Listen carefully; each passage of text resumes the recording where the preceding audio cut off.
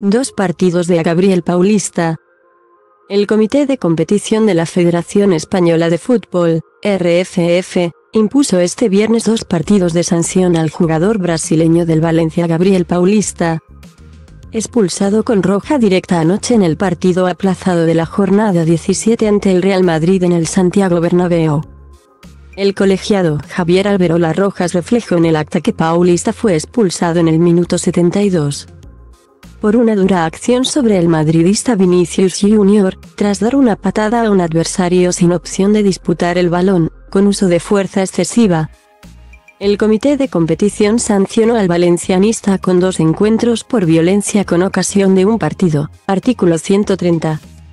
2 del Código Disciplinario, la misma sanción que impuso al bético William Carvalho, expulsado al final del encuentro ante el Barcelona jugado el día 1 y aplazado también de la jornada 17.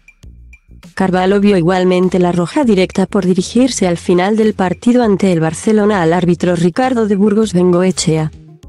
Para recriminarle algunas de sus acciones y el comité castigó su actitud por menosprecio o desconsideración hacia los árbitros, artículo 124.